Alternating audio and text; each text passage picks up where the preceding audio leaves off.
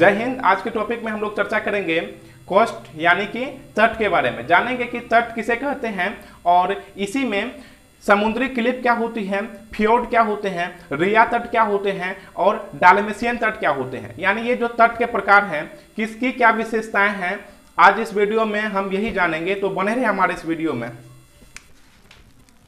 तट, यानी जिसे हम लोग इंग्लिश में कोस्ट के नाम से जानते हैं। ठीक है? तट की अगर बात करें तो सबसे पहले आते हैं समुद्री क्लिप। समुद्री क्लिप। ठीक है? यानी जो समुद्र में क्या चीज़ का निर्माण होता है? ये कोस्ट यानी तट का निर्माण होता है। यानी कि बड़े से आकृति वाले जब मतलब समुद्र में पाए जाते हैं ठीक है इस प्रकार से आकृति वाले जब समुद्र में पाए जाते हैं ठीक है तो हम लोग उसे समुद्री तट कहते हैं। यानी समुद्र में खड़े ढाल वाले जो आकृति होते हैं उसी को हम लोग समुद्री क्लिप के नाम से जानते हैं। यही एक तट का क्या है? एग्जाम्पल्स हो सकता है ठीक है? और यहाँ पे जो है यहाँ पे नहाया नहीं जा सकता है क्योंकि यहाँ की जो पानी है वे काफ़ी गहरी होती है कहाँ काफ़ी मतलब नीचे तक होती है ठीक है? जिसे हम लोग समुद्री क्लिप के नाम से जानते हैं। इसी में आते हैं अलग में फ्योर्ड के बारे में। फ्योर्ड तट क्या होते हैं? फ्योर्ड तट। फ्योर तट की अगर बात करें तो जिस प्रकार से हम यहाँ पे बताए, ये काफ़ी गहरी होती है। सेम उसी प्रकार है यहाँ पे कि यहाँ पे जो है, जो यहाँ की पानी है, नदियाँ हैं, समुद्र की जो क्या है, जल, जलीय क्षेत्र हैं, वे काफ़ी ठंडी होती है। यहाँ के जो जल हैं, काफ़ी ठंडी होती है और ये जो है, ध्रुवीय क्षेत्र में ही पाए जाते हैं।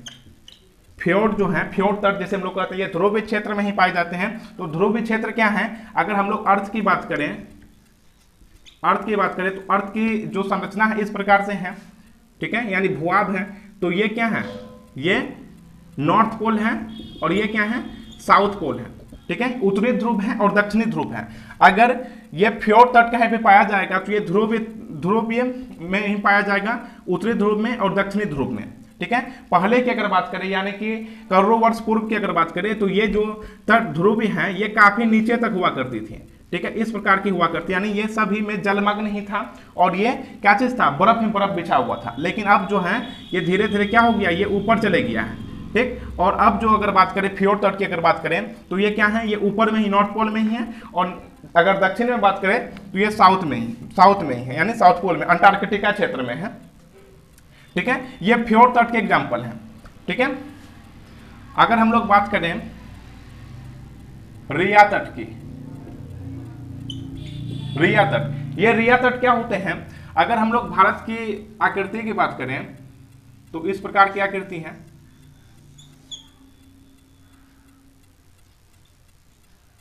इस प्रकार की आकृति है, ठीक? तो ये जो है,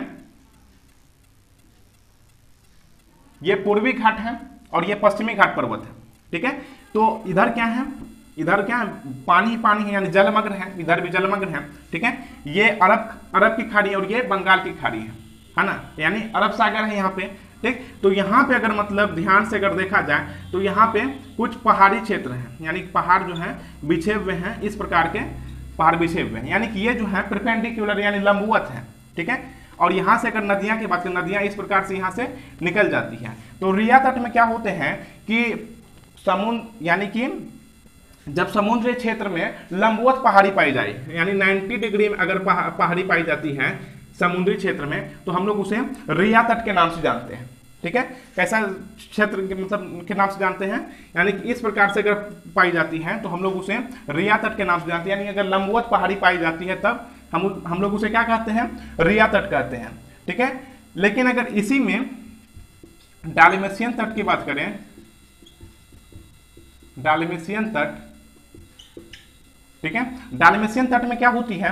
तो यहाँ भी पहाड़ी ही पाई जाती है। यानी कि ये सभी क्षेत्र में क्या पाई जाती है? पहाड़ी ही पाई जाती है। इसमें भी पहाड़ी ही पाया जाएगा। लेकिन यहाँ जिस प्रकार से ये लंबवत पाया गया है, वैसा नहीं होगा, है ना? इसके तट में जो है, यानी जब ये समुद्र क्षेत्र में पहाड़ी पाई जाएगी तो ये समांतर पाई जाएगी।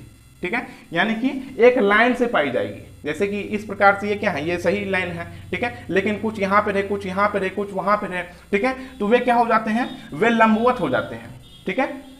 तो ये जो रिया तट है, रिया तट में जो पहाड़ी पाई जाती है, ठीक है? यानी समुद्र के समुद्री भाग में जो पहाड़ी पाई जाती है कैसी पहाड़ी होती है?